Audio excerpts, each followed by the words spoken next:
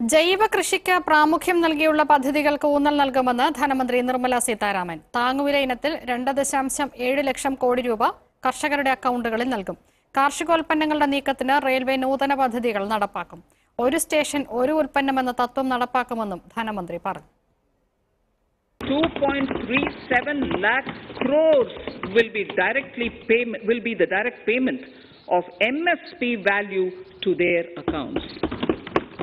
Chemical-free natural farming will be promoted throughout the country with a focus on farmers' lands in 5 kilometer wide corridors along the river Ganga at the first stage.